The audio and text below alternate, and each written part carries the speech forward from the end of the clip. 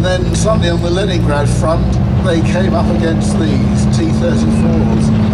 The original ones had a 76mm gun, but they were soon upgunned to an 85mm gun, as you see here. One of the main surprises was the armor. Most tanks up to then had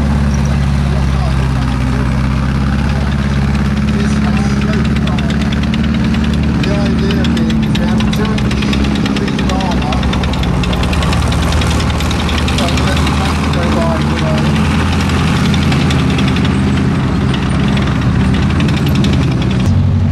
The Russian tanks had to go over hundreds of miles to the front line, and they needed the fuel.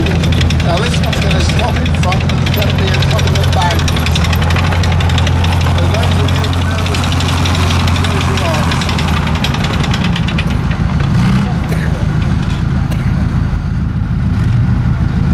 probably notice on the side of the tank these slogans. Most of these vehicles were produced by the tractor factories workers were very, very patriotic so they paint these patriotic slogans on the side such as you know, death to the fascists, forward the fatherland, things like this.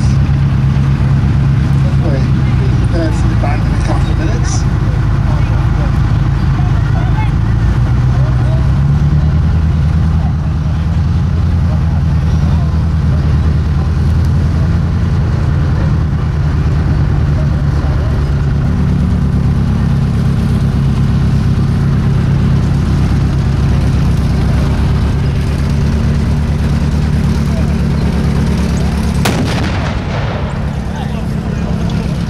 It's finishing off its style. There's another one to come.